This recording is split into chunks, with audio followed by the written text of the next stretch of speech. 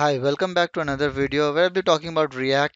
So today's topic is React versus Redux. So we all know what Redux is used for. Basically, people use Re Redux for like because it has a greater advantage and like predictability becomes very easy. Like we can predict when our set states happen and like maintainability is also good there and like we can easily test our code and whether when it, we have to debug anything like that but peop I have seen like many developers out there who call themselves like good developers or whatever they want to call themselves. I have seen like they they will be using like Redux for everything, even for a simple app they will be overkilling it by using Redux. They don't know the difference between Re Redux and normal state. They just know that they have learned Redux, so they will use it in every single thing they come across. So now the question comes when to use Redux first. So first of all, you need to tell yourself or decide like what kind of app you are making, whether it is a small or medium sized or a large or complex one. So if it fits in the small or medium, go for state for your containers. And later on, if you aren't able to manage your state, then you should go for Redux.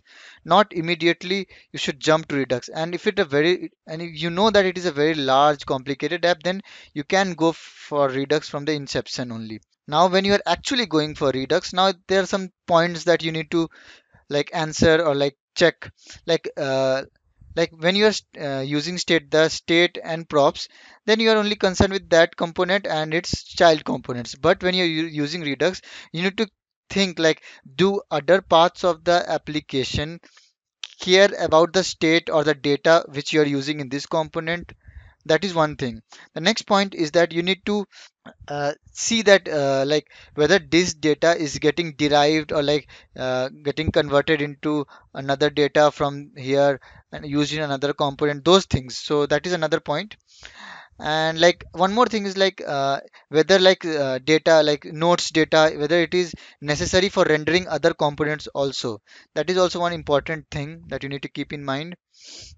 And like there is something like when you are uh, going uh, in different pages and when you are navigating back and when you're navigating back do you really need that previous data or something like that? Then redux comes to play also. And redux is also very handy for like the the next point we can say is that whether you need to cache your data then you can use redux. Because if you are using state then you will be re-requesting your data. That is not a good thing to do so for caching you can use redux. And like uh, finally like i will be also telling um, there are some things like what are the types of state? Like people don't know these things also like i will be telling you uh, there are three types of state. First is the local UI state that only is concerned with that component. Second is the persistent state, and the next one is the client state. For local UI state, like uh, like we are showing some uh, backdrop or modal that is only concerned with that component.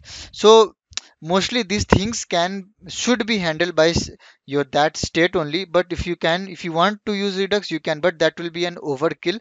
you so you should not go for Redux in for local UI state or like re, for reloading you're using a flag don't do that for redux okay do with state the next one is uh, like you have a, you are having a persistent state. That is like all users like data all post your data you're showing something like that. So mostly it is stored in server but like some things are like uh, id of the user it can be stored in redux. So not everything is stored in redux for the persistent state. Mostly it is stored in our database. So and some of the slices like some key informations that can be stored in redux okay. And the final one is our client state. Our client state is basically is like what are the filters we are showing? Like uh, we are selecting some filters. We are checking is the user is authenticated or not. Because these things you should manage by redux. Because what happens is like that uh, suppose you are checking whether user is authenticated or not. And depending on that authenticated state you are showing some other uh, pages and some pages you are restricting if the user is not authenticated. So some things like that and you are whether when you are filtering that things need to be saved like when you go from one page to another depending on that filter or other data are shown. So these are the things that you need to keep in mind before directly jumping into redux. So take a step back do some analysis and then go for redux or state whatever you want. And if you find this video informative please do share it. Share with some developers that you that you think they know but they don't. So share with them, uh, throw some light at them, and please like and share the video and subscribe to my channel for more videos. And thank you for watching it.